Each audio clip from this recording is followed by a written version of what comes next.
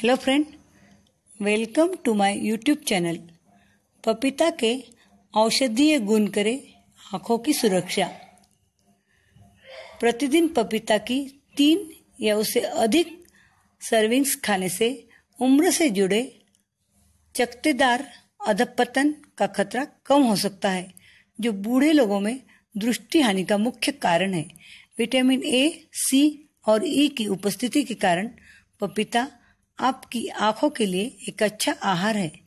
इसमें carotenoid, lutein और जेक्सेटिन भी शामिल है, जो उच्च ऊर्जा वाले नीले प्रकाश से आपकी आँखों की सुरक्षा करते हैं। यह नीला प्रकाश आपकी आँखों के रेटिना को नुकसान पहुँचा सकता है।